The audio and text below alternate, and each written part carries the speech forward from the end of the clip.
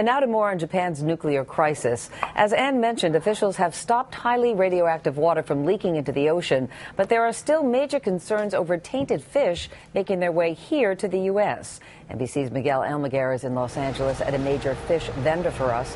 Miguel, good morning. Meredith, good morning. About 10% of the fish at this one facility all come straight from Japan. It's fresh, and the folks here say it's clean. The federal government seems to agree. Their inspectors were just here yesterday. Still, many are worried. Fresh fish imported from Japan, a $236 million industry last year alone. Much of the mackerel, yellowtail, and Thai snapper at this Los Angeles distributor came from Japanese waters less than 40 hours ago. Still, some restaurants and consumers aren't taking any chances. No, we are not serving uh, any fish from Japan now. I think as a new mom, especially one that's breastfeeding, I am worried about radiation in the whole food supply.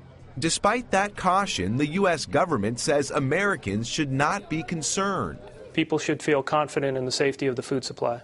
The Food and Drug Administration, the FDA, says it's ramped up its examination of seafood from Japan. So far, the FDA says not a single radioactive fish has been detected in this country.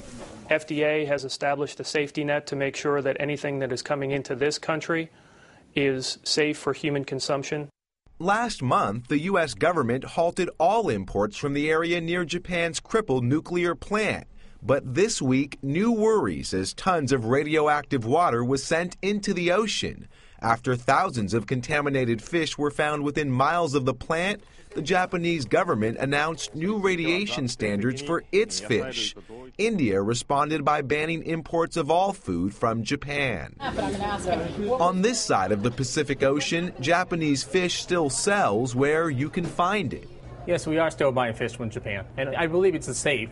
I'm a physician, and I'm very much aware of uh, issues about radioactivity, and I don't think we really have to be concerned at this time. Imported fish from Japan still considered safe, but today some won't take the risk. Although the U.S. imports hundreds of millions of dollars of fish from Japan every year, it's important to keep in mind only a small percentage of the fish we eat in this country actually comes from Japan. And again, the FDA says it's safe to eat. Meredith? All right, Miguel Almaguer, thank you very much.